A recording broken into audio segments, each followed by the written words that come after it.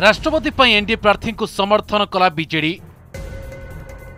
ଓଡ଼ିଆ ଝିଅ କହି ଦ୍ରୌପଦୀ ମୁର୍ମୁଙ୍କୁ ସମର୍ଥନ ପାଇଁ ବାହାରି ଆସିଲା ଏବେ ଉପରାଷ୍ଟ୍ରପତି ନିର୍ବାଚନରେ ବିଜେଡି କରିବ କ'ଣ ଏନ୍ଡିଏ ପ୍ରାର୍ଥୀଙ୍କୁ ସମର୍ଥନ କରିବ ନା ବିରୋଧୀ ପ୍ରାର୍ଥୀଙ୍କୁ ଅପେକ୍ଷା କରିବ ଉପରାଷ୍ଟ୍ରପତି ନିର୍ବାଚନରେ ବିଜେଡି ଏବେ କରିବ କ'ଣ ଏନ୍ଡିଏ ପ୍ରାର୍ଥୀ ଜଗଦୀପ ଧନଖଡ଼ଙ୍କୁ ସମର୍ଥନ କରିବ ନା ଧନଖଡ଼ଙ୍କ ବିରୋଧରେ ଭୋଟ ଦେବ ନା ବିରୋଧୀ ଦଳର ପ୍ରାର୍ଥୀ ଘୋଷଣାକୁ ଅପେକ୍ଷା କରିବ ବିଜୁ ଜନତା ଦଳ।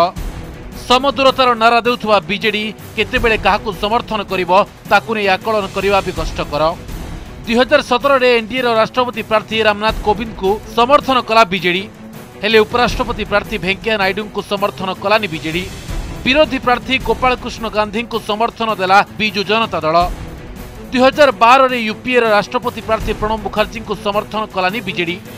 ଏନ୍ଡିଏର ଉପରାଷ୍ଟ୍ରପତି ପ୍ରାର୍ଥୀ ସାଙ୍ଗମାଙ୍କୁ ସମର୍ଥନ କରିବାକୁ ଆଗେଇ ଆସିଲା ଉପରାଷ୍ଟ୍ରପତି ନିର୍ବାଚନରେ ଯଶବନ୍ତ ସିଂଙ୍କୁ ସମର୍ଥନ କରିଥିଲା ବିଜେଡି ଏବେ ରାଷ୍ଟ୍ରପତି ନିର୍ବାଚନରେ ଦ୍ରୌପଦୀଙ୍କୁ ବିଜେଡି କରୁଛି ସମର୍ଥନ ଉପରାଷ୍ଟ୍ରପତି ନିର୍ବାଚନରେ ଧନଖଡ଼ଙ୍କୁ ସମର୍ଥନ କରିବ ନା ନାହିଁ ରାଷ୍ଟ୍ରପତି ନିର୍ବାଚନ ଭଳି ଉପରାଷ୍ଟ୍ରପତି ନିର୍ବାଚନରେ ବିଜେପି ତଥା ଏନ୍ଡିଏକୁ କୌଣସି ଦଳର ସମର୍ଥନ ଆବଶ୍ୟକ ନଥିଲେ ବି ବିଜେଡିର ଆଭିମୁଖ୍ୟ କ'ଣ ରହିବ ତା ଉପରେ ସମସ୍ତଙ୍କ ନଜର ରହିଛି ଦ୍ରୌପଦୀ ମୁର୍ମୁଙ୍କୁ ଓଡ଼ିଆ ଝିଅ ବୋଲି ଆଗତୁରା ସମର୍ଥନ ଜଣାଇଥିବା ବିଜେଡି ଉପରାଷ୍ଟ୍ରପତି ନିର୍ବାଚନରେ ଜଗଦୀପ ଧନଖଡ଼ଙ୍କୁ ସମର୍ଥନ କରିବ ନା ବିରୋଧ କରିବ ତାହା ଦେଖିବାକୁ ବାକି ରହିଛି Pratyush Kumar Odisha reporter